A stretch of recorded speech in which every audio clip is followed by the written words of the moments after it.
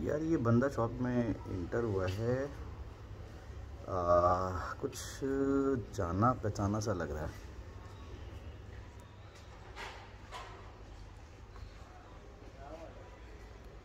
Shop पर आया है लेकिन किसी से हेल्प नहीं मांग रहा किसी चीज़ की। कुछ डाउट फील हो रहा है।